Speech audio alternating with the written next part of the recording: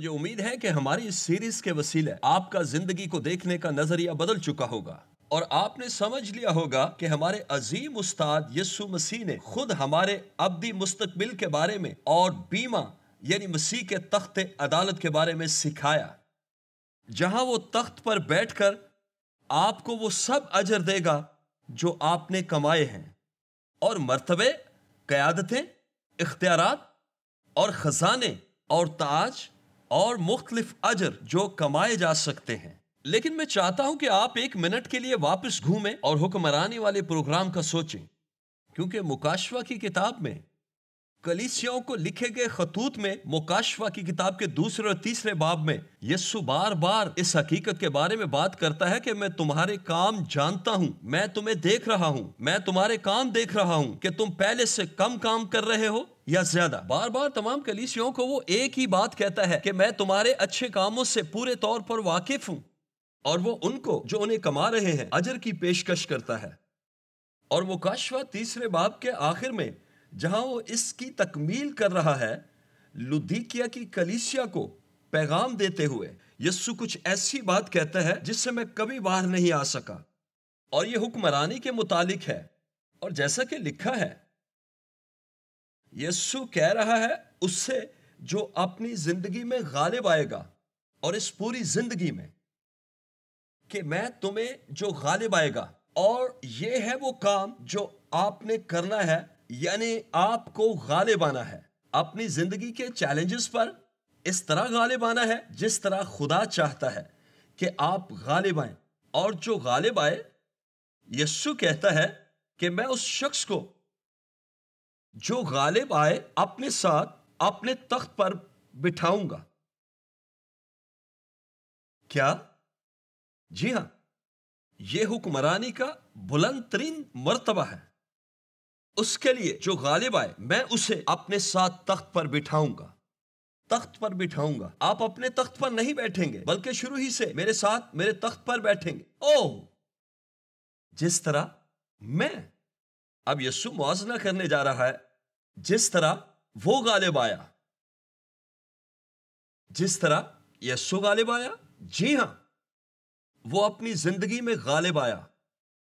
اور جس طرح میں غالب آ کر اپنے باپ کے ساتھ اس کے تخت پر اس کے ساتھ بیٹھ گیا۔ کیا آپ سمجھے جو یسو نے کہا؟ یسو نے یہ اس سے کہا، جو غالب آتا ہے، میں تمہیں اپنے ساتھ اپنے تخت پر بٹھاؤں گا۔ اسی طرح جیسے میری زمینی زندگی میں میں غالب آیا۔ اور مجھے میرے باپ نے حق دیا کہ اس کے ساتھ تخت پر اس کے ساتھ بیٹھوں، اس کے ساتھ۔ اور یہ وہ بات ہے جس کی تمنا ہر کوئی کرتا ہے کہ وہ اسے حاصل کریں۔ جب وہ اس دنیا میں ہے کہ وہ مسیح کی بات شہد کو تعمیر کرنے میں بہترین کام کریں۔ غریبوں اور بیواؤں کا خیال رکھیں، اپنی گواہی دوسروں تک پہنچائیں، شاگرد بنائیں، نئی کلیسیائیں قائم کریں اور اسی طرح کے اور اور کام۔ لوگوں کی مدد کریں جو نشے کی لت میں مبتلا ہیں۔ طلاق کے قریب جوڑوں کو بحال کر کے دوبارہ اکٹھا کریں۔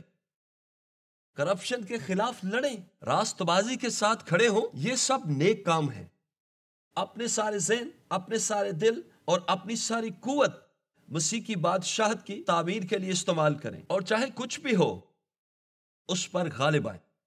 لیکن یسو کے لیے جب وہ اپنے اور میرے درمیان موازنہ کرتا ہے کہ جیسے میں اپنی زندگی میں غالب آیا اور میرے باپ نے کہا کہ میرے ساتھ تخت پر بیٹھو، اگر آپ اپنی زندگی میں غالب آئیں گے تو میں تم سے کہوں گا کہ آؤ میرے تخت پر میرے ساتھ بیٹھو۔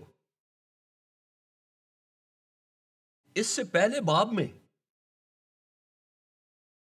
یعنی مکاشفہ دوسرے باب کی پچیسویں آیت میں یسو مزید معلومات دیتا ہے۔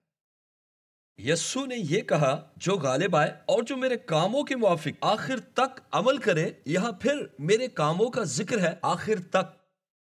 اس کو جو غالب آئے اور میرے کاموں کے موافق آخر تک عمل کرے یعنی وہ کام کرتا رہے جو خدا چاہتا ہے کہ آپ کریں۔ میں اسے قوموں پر اختیار دوں گا۔ جیسے میں نے اپنے باپ سے اختیار پایا، اسے کہتے ہیں منتقل شدہ اختیار۔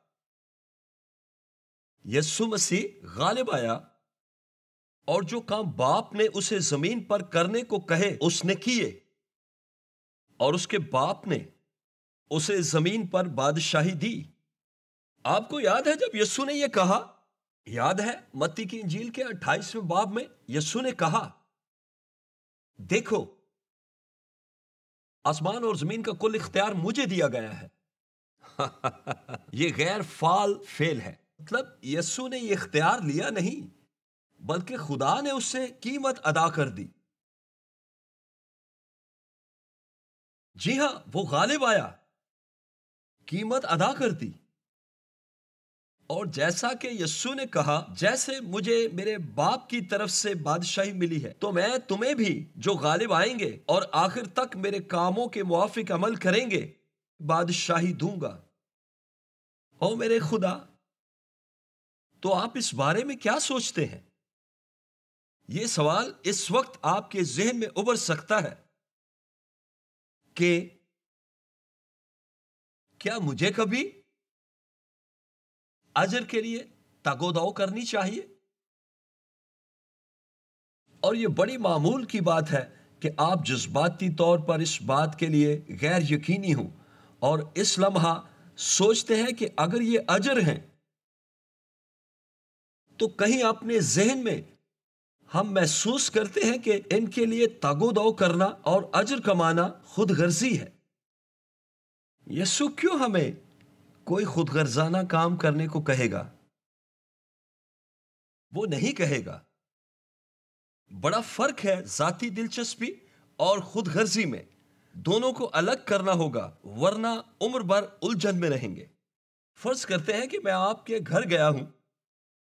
اور آپ کی بیوی گھر پر نہیں، کیونکہ میں آپ سے کچھ خاص بات کرنا چاہتا ہوں۔ ایک لمحے کے لیے مثال کے طور پر، اور آپ کی بیوی نے ہمارے لیے بہت اچھا دوپہر کا کھانا بنایا ہے، اور میز کے درمیان چاکلیٹ کیک کا ایک بڑا ٹکڑا ہے، اور مجھے چاکلیٹ کیک پسند ہے، اور مجھے نرم چاکلیٹ میں ڈوبا اور مزے کی ونیلا آئس کریم کے ساتھ چاکلیٹ کیک بہت پسند ہے۔ لہٰذا میں آپ کے ساتھ لنچ پر بیٹھتا ہوں اور میری نظر اس چاکلیٹ کیک کے ٹکڑے پر پڑتی ہے اور میں امید کر رہا ہوں کہ مجھے بھی کچھ ملے گا۔ لیکن آپ ایک لفظ بھی نہیں بولتے اور ایک ٹیلی فون کال آتی ہے۔ آپ باہر نکل جاتے ہیں اور میں نے کھانا ختم کر لیا۔ آپ کی غیر موجودگی میں میں اپنے آپ سے کہتا ہوں، آپ برا نہیں مانیں گے اور میں کیک کا پورا ٹکڑا کھا جاتا ہوں۔ مجھے آدھا ٹکڑا چھوڑنا چاہیے تھا، لیکن میں نے پورا ٹکڑا کھا لیا۔ یہ کیا ہے؟ اسے خود غرضی کہتے ہیں۔ ٹھیک ہے۔ لیکن ذرا کہانی کو بدل کر دیکھتے ہیں۔ فرض کرتے ہیں کہ کھانا کھانے کے بعد آپ مجھ سے کہتے ہیں، آپ کو پتا ہے، میری بیوی یہ لذیذ چاکلیٹ کیک بناتی ہے اور پچھلے تین دن سے ہم یہ کیک کھا رہے ہیں اور میں مزید اسے کھانا نہیں چاہتا۔ پلیز آپ سارے ٹکڑے سے انجوائے کریں۔ فون بچتا ہے، آپ باہر جاتے ہیں اور میں پھر دوسرا ٹکڑا بھی کھا جاتا ہوں۔ کیا آپ مجھے خود غرض کہیں گے؟ بے شک نہیں۔ کیوں نہیں؟ کیونکہ میں نے آپ سے کچھ چھینا نہیں۔ یہ میری ذاتی دلچسپی ہے۔ جی ہاں۔ کیا ذاتی دلچسپی رکھنا غلط ہے؟ نہیں۔ معلوم ہے پوری کائنات میں سب سے زیادہ دلچسپی رکھنے والی شخصیت خود خدا ہے، جو ہر کام اپنے جلال کے لیے کرتا ہے۔ مسئلہ یہ ہے کہ ہم بہت الجھے ہوئے ہیں، کیونکہ ہم نہیں جانتے کہ کیوں یسو نے یہ تمام سچائیاں بیان کی یسو چاہتا ہے کہ ہم صرف یقین ہی نہ کریں، بلکہ سخت محنت بھی کریں۔ اگر محنت نہیں تو کمائی بھی نہیں، اس وقت دیر ہو چکی ہوگی۔ یسو آپ کی طرف سے خود غرضانہ عمل کا اجر بالکل نہیں دے گا۔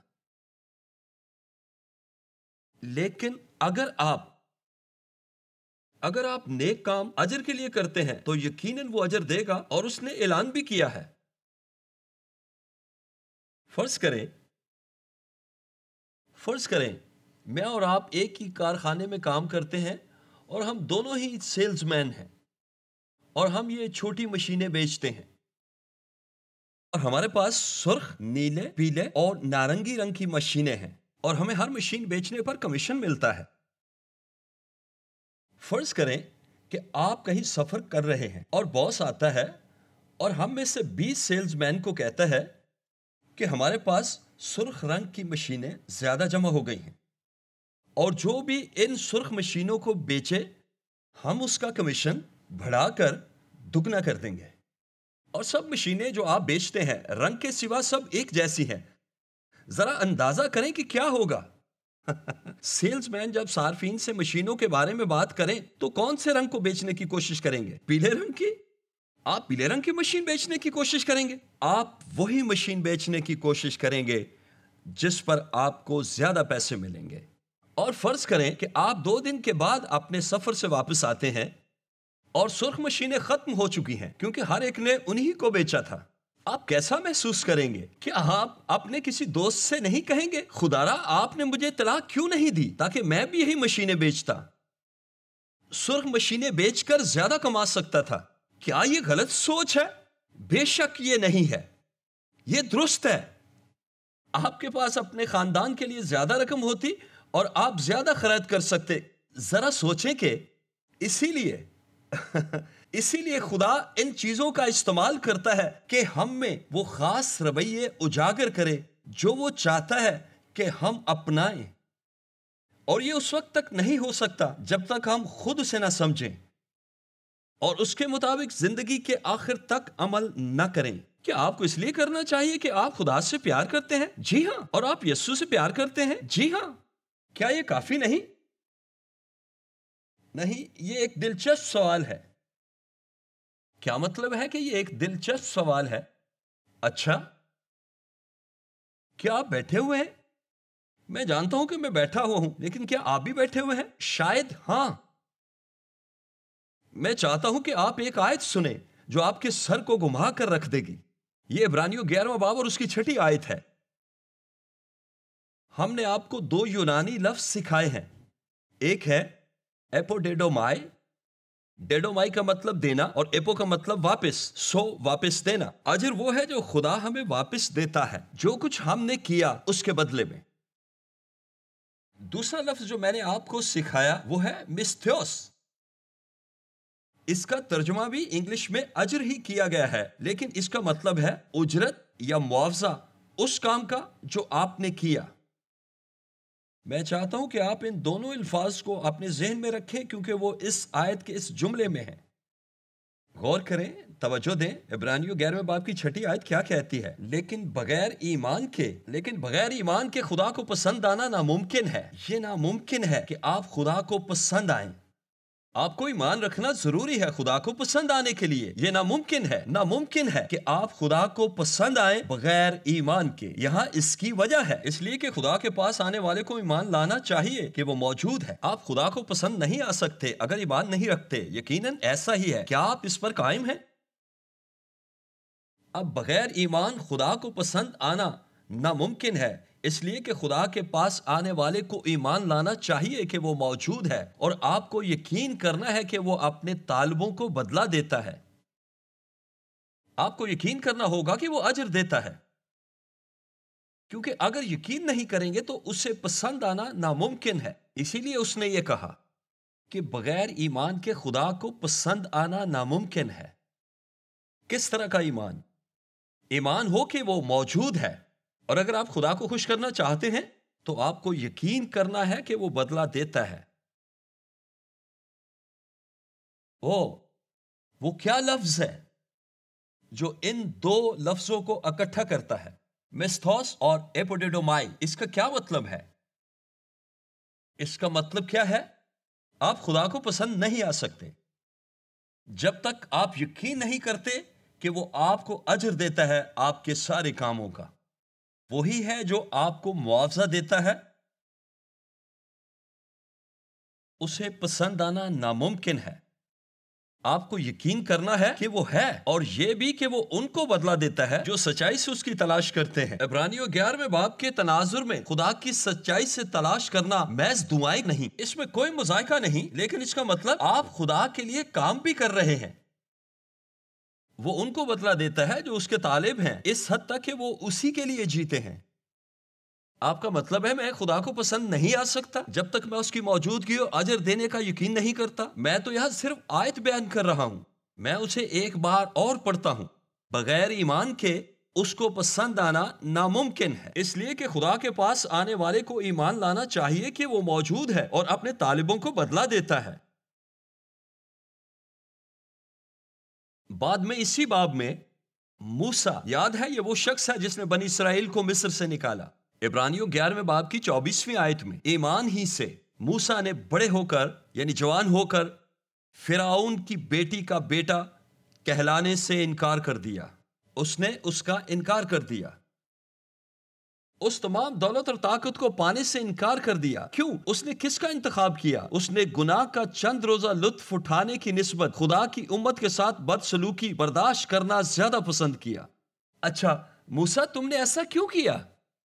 تمہیں فراؤن کے دربار میں تمام دولت اور قوت حاصل تھی۔ کیوں؟ اور مسیح کے لیے لانتن اٹھانے کو مصر کے خزانوں سے بڑی دولت جانا۔ کیونکہ بائبل کہتی ہے کہ اس کی نگاہ اجر پانے پر تھی۔ موسا تم نے ایسا کیسے کیا؟ اجر پر نظر کر کے۔ میتھوس، ایپوڈیڈومائی، اسم کی شکل میں۔ او میرے خدا۔ فرض کریں دو جڑوا بھائی تھے۔ جڑواں۔ دو بھائی بالکل ہم شکل۔ اور فرض کرتے ہیں، وہ ایک ہی اسکول میں گئے، ایک ہی ڈگری لی، اور دونوں کی شادی ہو گئی۔ اور ایک قصبے کے مشر کی طرف رہنے لگا اور دوسرا مغرب میں رہنے لگا۔ لیکن دونوں ایک ہی کمپنی کے لیے کام کرتے تھے۔ دونوں ہی نئے سرے سے پیدا ہوئے تھے، دونوں ہی مسیح گھرانے میں پلے بڑے۔ لیکن ان دونوں میں سے جو شہر کے مشر کی ساحل پر رہنے والا تھا، وہ بڑے گہرے طور پر ایمان رکھتا تھا کہ اس کی زندگی کے نتائج اس کی ابدیت پر اثر انداز ہوں گے۔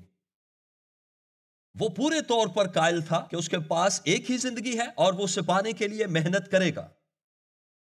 دوسری طرف رہنے والے بھائی نے اپنے بھائی کے نظریات کو سنا، لیکن اس کا کہنا تھا کہ تم سچائی کو ٹھیک بیان نہیں کر رہے۔ بائبل حقیقت میں یہ نہیں سکھاتی، لیکن جو سکھاتی ہے، اس کا ایک گہرا مطلب ہے۔ بس میں آسمان میں چلا جاؤں تو میرے لیے اتنا ہی کافی ہے۔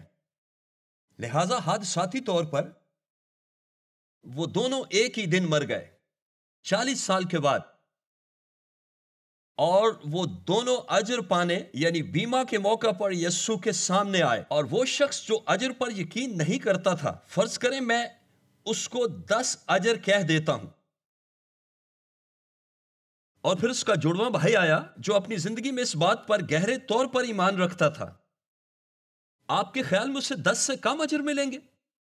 یا برابر ہی اجر ملیں گے؟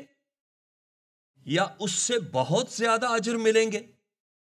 میں نے سوال کو دنیا کے مختلف ممالک میں کیا۔ اتنے سالوں میں آپ جانتے ہیں کہ اوسط جواب کیا تھا؟ کیونکہ میں نے لوگوں سے پوچھا کتنے سمجھتے ہیں کہ کم اجر ملے گا؟ کتنے سمجھتے ہیں برابر؟ اور کتنے سمجھتے ہیں ایک گنا دو گنا یا زیادہ ملے گا؟ اوسط ووٹ آٹھ سے دس گنا زیادہ اجر ہے۔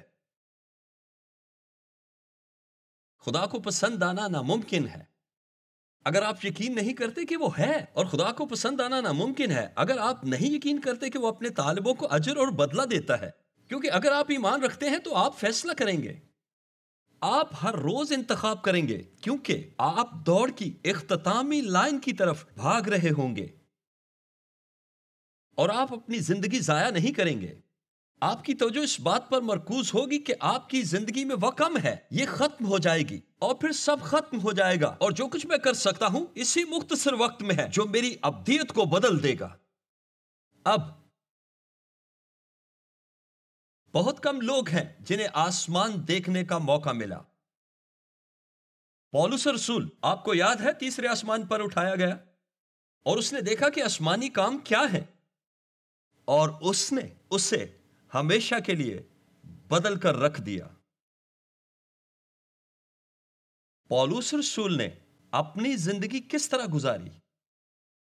جب اس نے دیکھا اپنی آنکھوں سے کہ آسمان کے کام کرنے کا طریقہ کیا ہے۔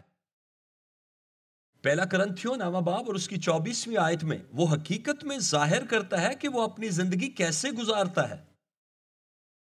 وہ یہ کہتا ہے کیا تم نہیں جانتے کہ دوڑ میں دوڑنے والے دوڑتے تو سبھی ہیں؟ جیسے ہم سب بھی زندگی کی دوڑ میں ہیں، مگر انعام ایک ہی لے جاتا ہے۔ سنے پولوس کیا کہتا ہے؟ تم بھی ایسے ہی دوڑو تاکہ جیتو۔ آپ کو دوڑ جیتنے کے لیے سخت محنت کرنا ہوگی۔ ہر ایک جو انعام کے لیے مقابلہ کرتا ہے، سب طرح کا پرہیز کرتا ہے۔ کیوں؟ یہ کرنا آسان نہیں۔ غالب آنے کے لیے آخر تک مسیح کے کاموں کے موافق عمل کرنا اور مسیح کے لیے اپنی زندگی کو بہترین بنانا ہے۔ وہ تو مرجھانے والا صحرا پانے کے لیے یہ کرتے ہیں۔ وہ کھیل کی طرف اشارہ کر رہا ہے۔ ایتھلیٹک گیم کہ وہ تو مرجھانے والا صحرا، سر کے گرد، پھولوں کا تاج جس کے پتے وقت کے ساتھ مرجھا جاتے ہیں، وغیرہ وغیرہ۔ وہ لوگ تو مرجھانے والا صحرا پانے کے لیے یہ کرتے ہیں، مگر ہم اس صحرے کے لیے کرتے ہیں جو نہیں مرجھاتا، ایک ابدی تاج۔ اس لیے پولوس کہتا ہے، کیونکہ آپ نے اس کو پانے کے لیے دوڑنا ہے۔ اس لیے اس طرح بھاگو، وہ کہتا ہے، بے ٹھکانا نہیں یعنی بے یقینی کے ساتھ نہیں۔ میں اس بارے میں بے یقین نہیں۔ نہ ہی بے دلی سے چلتا ہوں۔ مجھے اس کا یقین ہے۔ میں اسی طرح مکوں سے لڑتا ہوں یعنی اس کی مانند نہیں جو ہوا کو مارتا ہے یعنی میں اپنا وقت ضائع نہیں کرتا، ان باتوں پر جن سے ابدیت پر کوئی فرق نہیں پڑتا۔ بلکہ میں اپنے بدن کو مارتا، کوٹتا، اسے قابو میں رکھتا ہوں۔ ایسا نہ ہو کہ آخر میں اوروں میں منادی کر کے میں خود یعنی میں خود نامقبول ٹھہروں۔ پولوس کیا کہہ رہا ہے؟ کہ میں ڈرتا ہوں کہ کہیں بیمہ تخت کے سامنے نامقبول نہ ٹھہروں۔ کہیں میں اپنے اجر کو نہ کھو دوں لہذا میں اپنے آپ کو قابو میں رکھتا ہوں اور بھاگتا ہوں۔ او میرے خدایا، آپ اس دوڑ میں ایسے ہی دوڑنا چاہتے ہیں جیسے یسو چاہتا ہے کہ آپ دوڑیں؟ جی ہاں یسو نے اسی طرح اپنی زندگی گزاری۔ میں نے اپنی دوڑ ختم کر لی، وہ کام جو خدا نے مجھے کرنے کو دیا، ختم کر لیا۔ بائبل کی آخری آیت میں معاف کیجیے گا یسو کہتا ہے یہ اس کے تعلق سے انتہائی واضح آیت ہے جو آپ کی نظر سے گزری ہو۔ مکاشوا بائیسویں باب میں یہ آیا کرتی ہے کہ مسیح جب دوسری بار آنے کے بارے میں سوچتا ہے تو اس کے ذہن میں پہلی چیز کیا ہے؟ کیونکہ اب دو ہزار سال گزر چکے ہیں اور وہ کہتا ہے، وہ یہ کہتا ہے کہ مکاشوا بائیسویں باب کی بارہویں آیت میں، دیکھ میں جلد آنے والا ہوں۔ اچھا اور اس کے ذہن میں کیا ہے؟ جب وہ آئے گا، اور ہر ایک کے کام کے موافق دینے کے لیے اجر میرے پاس ہے۔ ہر ایک کے کام کے موافق دینے کے لیے اجر۔ کیا آپ جان رہے ہیں کہ یسو اعلان کر رہا ہے کہ ان کے اجر میرے پاس ہیں؟ اور یہ میرے ہیں کہ جن کو چاہوں دوں، کیونکہ میں آسمان میں حاکم ہوں۔ اور میں نے بادشاہی قائم کی ہے، جس طرح میں چاہتا ہوں، جس طرح تم چاہتے تھے، اس طرح نہیں۔ اس میں داخلے کی شرط فضل ہے، لیکن اس میں آپ کیا حاصل کریں گے؟ وہ آپ کے کاموں کے سبب سے ہے۔ اور یسو اسی طرح چاہتا ہے کہ یہ ہو۔ اور وہ یہ کہتا ہے کہ یہ اجر میرے پاس آسمان میں ہے۔ میرے دوستو، آپ کو آپ کے اجر ابھی نہیں ملے۔ یقیناً آپ کے پاس یہاں کچھ برکتیں ہیں۔ لیکن یسو بڑے واضح انداز میں بتاتا ہے، نہیں نہیں نہیں۔ اجر میرے پاس ہیں اور میں ابھی آسمان میں ہوں اور میں جلد آ رہا ہوں اور جب میں آؤں گا تو اندازہ کریں کہ میں کیا کروں گا۔ میں اپنے ساتھ اجر لا رہا ہوں اور سوچیں کہ میں ان کا کیا کروں گا۔ میں انہیں دوں گا۔ میں انہیں ہر ایک کے کام کے موافق دوں گا۔ اور یسو اس کے لیے انتظار نہیں کرے گا۔ میرے دوست، وہ آپ کو دیکھنے کا مشتاق ہے اور آپ کو اجر دینے کا مشتاق ہے۔ کاش آپ کا دل اس لمحے یہ سن کر بے انتہا خوشی سے معمور ہو جائے۔ جو کہ ساری ابدیت گزارنے کے لیے اہم ترین الفاظ ہیں۔ شاباش۔ تم نے اپنی زندگی میرے لیے اچھی طرح گزاری۔ شاباش، اچھے اور دیانتدار نوکر، خداون کے دروازے میں سے داخل ہو۔ میرے پاس کچھ شاندار چیزیں ہیں جو میں چاہتا ہوں کہ ابدیت میں میرے لیے کرو۔ کاش یہ پروگرام آپ کی زندگی تبدیل کر دیں۔